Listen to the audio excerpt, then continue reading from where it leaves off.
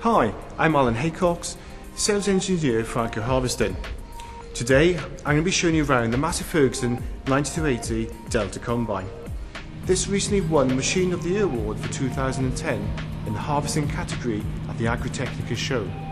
With increased demand from customers for high output, high soil quality and exceptional grain samples, Massey Ferguson is proud to present to you the Hybrid Combine, using the Hyperforma threshing and separation technology.